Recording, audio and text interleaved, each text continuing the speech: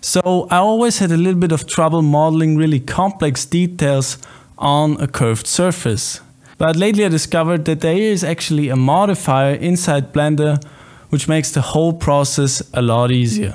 So the first thing you need to do in order to make this work is kind of plan out your details on a flat piece of geometry. So this allows you to really focus on your topology, you know, make everything quads, make everything nice and even and just keep it nice and simple. So the next thing we need is a curved surface or a mold.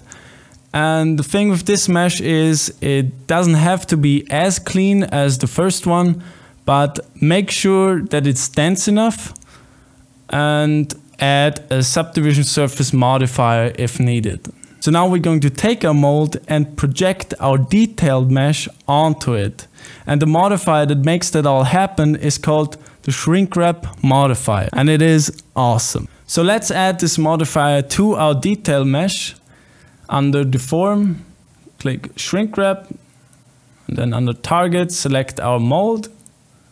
And now under wrap method, select project. And in my case, axis Z and negative.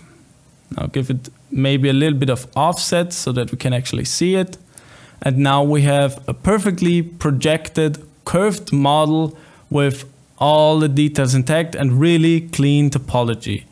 And now if we apply this, we can continue to work with it and clean it up a little and get a really clean mesh. So this is what our mesh looks like after a little bit of cleanup.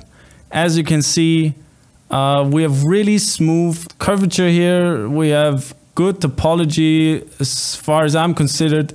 And now to the creme de la creme, the final part of this tutorial, uh, we're going to extrude the details from this surface. So as you can see, I already masked the details with this material. So hit select and hit I on your keyboard and hold control at the same time and now extrude it just a tad and then hit I again and inset that edge just to give it a little bit of sharpness.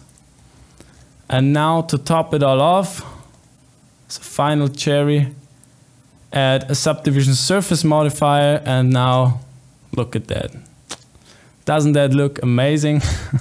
It does to me at least so that's basically it. Thank you for watching. Leave a like if this was helpful to you at all. And yeah, I see you in the next one.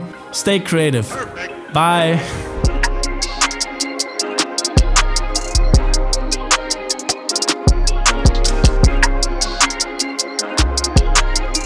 You know when a mesh looks almost too good, so tasty you wanna just sink your teeth into it? I know I have a little bit of a problem. It's creeping me out myself, but I can't, just can't help it, you know.